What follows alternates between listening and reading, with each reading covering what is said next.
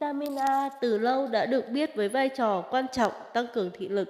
Tuy nhiên, nó có còn nhiều chức năng khác, đặc biệt nó hoạt động như một chất oxy hóa mạnh, giúp giảm viêm, nâng cao khả năng miễn dịch, giúp cơ thể chống lại bệnh tật.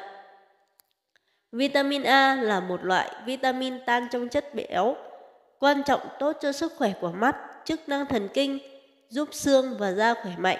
Do đó, việc cung cấp đủ vitamin A là vô cùng quan trọng để duy trì sức khỏe. Nó cũng là chất oxy hóa mạnh giúp giảm viêm, chống lại tác hại của các gốc tự do, là yếu tố chính giúp nâng cao khả năng miễn dịch, ngăn ngừa bệnh tật. Vitamin A có tác dụng bảo vệ mắt, chống quáng gà và bệnh khô mắt.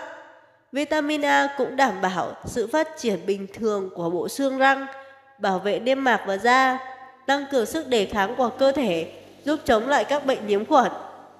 Thiếu vitamin A sẽ gây khô mắt, khô giác mạc, nhuyễn giác mạc, hậu quả dẫn đến sẹo giác mạc và mù vĩnh viễn, gây thoái hóa, sừng hóa các tế bào biểu mô, giảm chức năng bảo vệ cơ thể, làm giảm khả năng miễn dịch, tăng tỷ lệ bệnh tật và tử vong ở trẻ em.